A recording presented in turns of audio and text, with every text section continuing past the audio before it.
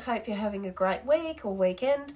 I'm Andrea M, and this is the Oz Files The Truth Is Out Back. And as a lead into a new segment soon to be added to the channel, Unsolved Down Under, today's Oz Files will be delving into Australia's top 10 unsolved mysteries, which I will be going into in greater depth on an Unsolved Down Under very soon. So please stay tuned for that. But before we look into today's stories, look, oh God, Louie! Come on! I think Louie wants to be on camera. Then I finally got him on camera. It's Mr. Louie. he looks really impressed. Hey, say hello, everybody. On today's Oz Files, it's all about mysteries and missing things and all that stuff that Mum seems to like. Happy he wanted to come and be on with me today because I've never got him on camera before. he looks so impressed. Okay, so now Louis made his little appearance. Let's just get back into what we were talking about. So, where were we? Okay. So, all of the mysteries that will be looked at a little bit today will be looked into in greater depth on Unsolved Down Under, so stay tuned for that.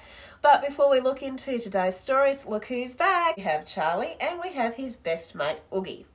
Oog loves it here so much he's decided to stay, so look forward to he and our recent Clown Motel graduate Charles Danvers Esquire, top of his class in Haunting the Living, to be appearing in more Ozfiles videos together with me. And they would also like to let you guys know if you're into unsolved mysteries, missing persons, real crime, disasters, and a little of the paranormal thrown in just for good measure, then you found just the channel for you because that's mainly all that we do here. So they would also like to ask you very nicely to kidnap the like button, haunt the subscribe button, and ring the magic bell to summon us at 3am, and to share the creepy goodness around, and also drop a comment or two below, and let us know your thoughts on today's video, or if you would like to suggest something you might like to see us cover in the future, please do so.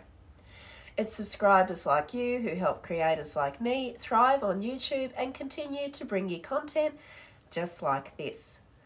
Without further ado, let's begin the countdown. So, Australia might not have a long history, but we do have something of a mysterious one. And the more I research into these videos, the more I seem to be finding. So, here are our top 10 unsolved Australian mysteries. Number one, the disappearance of Rhianna Barreau. Location, South Australia. The date, October 1992. In October of 1992, 12 year old Rhianna Barreau was walking to her local mall in South Australia to buy a card for a pen pal in America. She couldn't catch the bus because the drivers were all on strike, so her mother agreed she could walk, saying goodbye to her as she went off to work. Witnesses would then see Rhianna walking along the highway drive just before noon, and that would be the last that anybody would see of Rhianna Barreau. When Rhianna's mum arrived home in the afternoon, she would find the card that her daughter wanted to purchase for her pen pal laying on the dining room table. She would also find a record laying on the floor.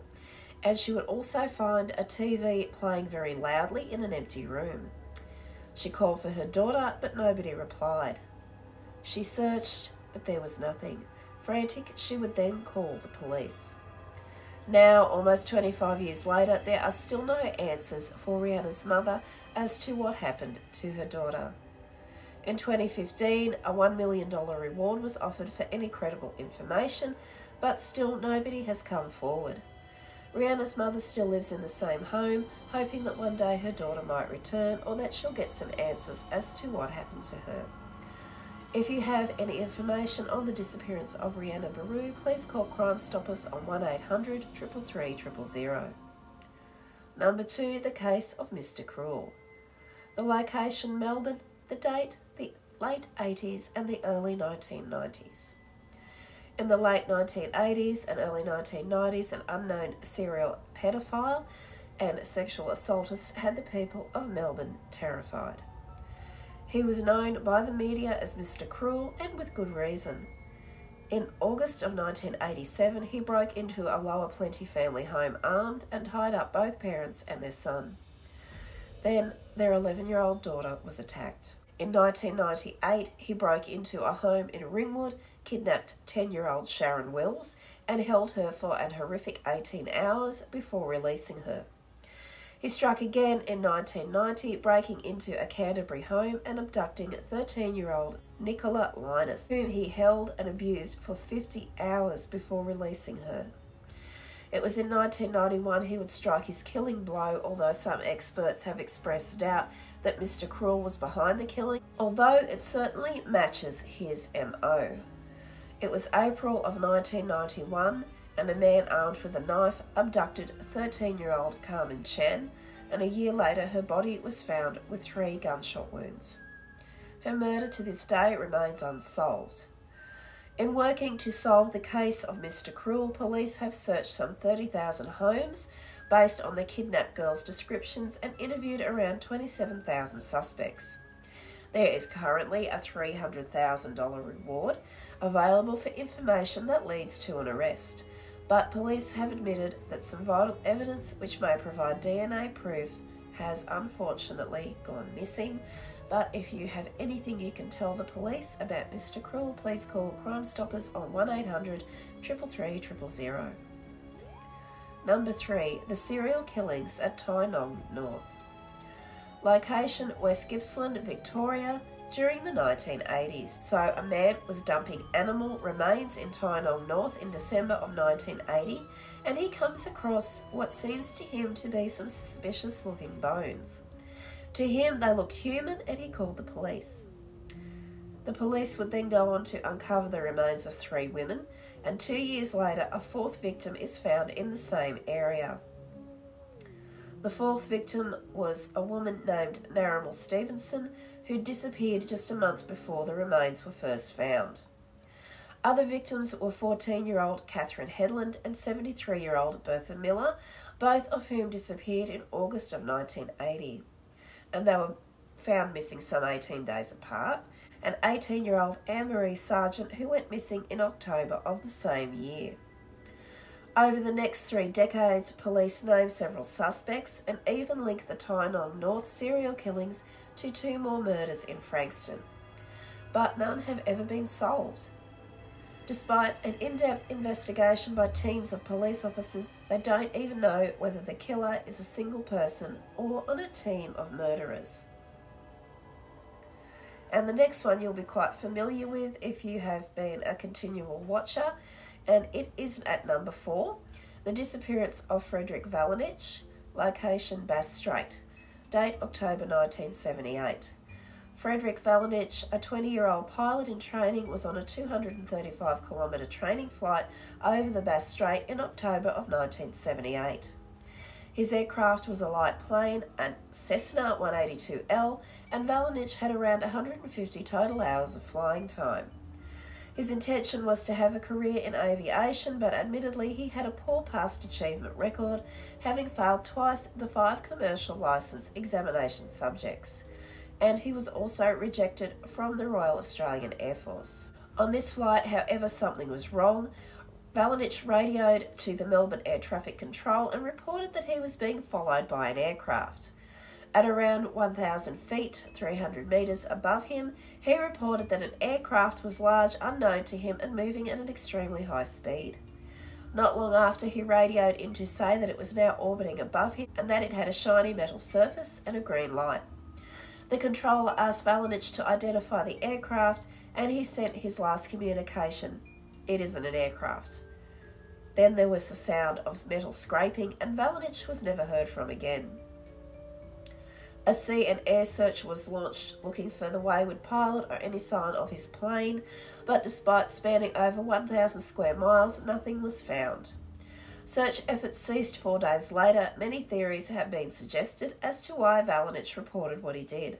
Some say that he likely saw a UFO, and others suggested he was confused and simply made an error. And it looks like we'll never know. And if you've never watched the Oz Files before, I have an entire video dedicated to the UFO phenomena and the disappearance of Frederick, so I will link that video in the description below if you have not seen it yet. At number five, we have Lasseter's Lost Reef. Likely one of the most well known and enduring of Australia's unsolved mysteries, Lasseter's Reef has entertained and eluded decades of searchers. It started in 1929 and again in 1930 when Harold Bell Lasseter made a number of conflicting claims that in 1897 he had found a large amount of gold in the desert. Lasseter claimed that he had found a very rich vein of gold on his travels, something he described as a vast gold bearing reef in central Australia. According to Lasseter, he had been a young man of 17 when he rode by horse from Queensland to the goldfields of Western Australia. On the way, he came across the Reef of Gold somewhere between the border of the Northern Territory and WA. He believed he was some 1,100 kilometres west of Alice Springs, in line with Kalgoorlie. Lasseter got into some kind of trouble and was actually rescued by an Afghan camel driver. So that's pretty unusual in and of itself. Over the next several decades, Lasseter tried on several occasions to raise funds and find the gold reef but he was never successful. When the gold rush finished in 1930 during the Great Depression, Lasseter was able to secure £50,000 for an expedition to the reef. Their search party included motorised transport, aircraft, and several experienced bushmen, but they never found it. The myth continues today and has become a prominent Australian folk tale. Nobody knows if Lasseter was actually telling the truth, and most likely we'll never find out. But if anybody has any stories about Lasseter's Lost Reef, I would love to hear it, so drop it in the comment section below. Number six, the shadowy family murders. The family was a name given to a mysterious group of men who were thought to be behind the kidnapping, drugging, torture, and sexual abuse of young men and teenagers in Adelaide in the 1970s and 1980s. Five young men were murdered in the state between 1979 and 1983, and many of the police suspects had high profile occupations, which led to some conspiracy. Some experts have suggested these murders were not the only ones and were merely a part of a larger string of kidnappings and sexual assaults of boys and young men at the time. Victims were 16 year old Alan Barnes, 25 year old Neil Muir, 14 year old Peter Stogneff, 18 year old Mark Langley, and 15 year old Richard Kelvin. Bodies were found in each case, although little could be determined from Peter Stogneff's murder. The other four all died of massive blood loss from the indecent assaults that were inflicted upon them by their kidnappers. Police believed that as many as 12 people were involved in the killings, including a number of high profile individuals, Despite this, four of the five murders remain unsolved, with only one person jailed in the murder of Richard Kelvin, a man named Bevan Spencer von Einem, and if he's familiar to you, he will have come up in the Eloise Worledge case, which is available to watch on Missing Down Under, and I will link it below. Einem was also the last person to be seen with Neil Muir after his abduction, and he is currently serving life in prison. A $1 million reward has been offered for any information that leads to conviction in the other cases. And again, you can call Crime Stoppers on 1800 333 000. Number 7. The Man on the Crucifix. Fisherman Mark Peterson was out on the Hawkesbury River in August of 1994 when he felt a strong tug on his fishing net. It was a lovely day, and Mark was convinced that he had snagged a decent haul. Unfortunately, what he pulled up from the water was not fish at all, but a heavy piece of steel in the shape of a crucifix, and attached to it were the remains of a person. Peterson rang the police in shock, and they took possession of the remains and the crucifix. Forensic pathologists found that the remains were indeed of a human male, aged between the years of 21 and 41 and the body had been intentionally arranged on the crucifix. The entirety of the body was wrapped in plastic, including the head, and there was wire wrapped around the head and the torso of the victim. Unfortunately, due to the erosion of fingerprints, the man couldn't be identified. Called the Rack Man by the media, he remains a mystery to this day, although the case hasn't been closed by the police. Some believe he might be a drug dealer who went missing in 1993, but that is yet to be proven. Number 8. The disappearance of Sarah McDermott. Sarah McDermott was on a train home in July of 1990 after playing tennis with friends. She was travelling back from East Melbourne back to Kananook, where she had left her vehicle. And this was where she would disappear without a trace. Her friends left the train at Bonbeach, leaving Sarah alone. She was last seen getting off the train at Kananook Station and heading to her car in the car park at 10:20 p.m. Police investigating the disappearance found bloodstains on the ground beside her 1978 Honda Civic, which had been left in the station's car park. They also noted that there were drag marks that led into the bushes. There they found a cigarette lighter belonging to Sarah. And those were the only clues left for police. A massive air, sea, and land search was conducted over three weeks, with more than 250 police personnel involved but nothing was uncovered. Later, appeals for information uncovered two witnesses who reported they had heard a woman at the station yell, Give me back my keys! A $1 million reward is current for any information that solves the case. And again, if you know anything about what happened to this lady, please call Crime Stoppers on 1800 333 000. Number 9. The Vanishing Cessna 210. In August of 1981, a Cessna 210 was registered to travel from Proserpine to Sydney. Four passengers are on board, along with the 52 year old pilot Michael Hutchins, no relation to the INXS singer. The plane, numbered VH MDX, sent out a radio transmission to air traffic control as they neared the community of Taree. According to the pilot, bad weather was ahead and he needed permission to fly in a restricted area to avoid the storm. Then the pilot actually would change his mind and stayed his original course. Not long after that, an integral part of the plane fails, leaving the pilot with no sense of direction or horizon simulator or heading indicator. Along with strong winds and ice, and as well as the plane malfunction, there was extreme turbulence. The last response from Hutchins was terrified and cut short, 5,000, and the plane was never seen again. A number of exhaustive land and air searches were conducted involving police, rescuers, and volunteers, but no trace of the aircraft or the men were found. Exactly what happened on board and what happened to the plane remains a mystery to this day. And last but not least, and probably our most compelling mystery on our list today, is that of the Somerton Man. The Somerton Man is probably one of the most internationally renowned of Australia's unsolved mysteries. Sometimes also referred to as the Taman Shud case, it involves the discovery of a man's body on Somerton Beach in the morning of December 1, 1948. The case is referred to as such because some months after the body was found, police uncovered a scrap of paper in the man's pocket on which was printed Tam Am Shud. The phrase means ended or finished in Persian. Police were unable to identify the man, although his autopsy suggested that he had not died of natural causes, but had in fact been poisoned and possibly left at the beach instead of having died there. Clues on his body seemed to lead to more questions, and it didn't get any easier when his suitcase was discovered six weeks after his body at a train station. The scrap of paper in his pocket came from a rare New Zealand edition of a book of poems, which police had tracked down, and they had found that somebody had stashed it in the rear footwell of a car, of all places. Inside, they found indentations of other writing, which they believed to be either a code or an encryption. The case of the Somerton Man is considered to be one of Australia's most profound mysteries and has been since it was uncovered.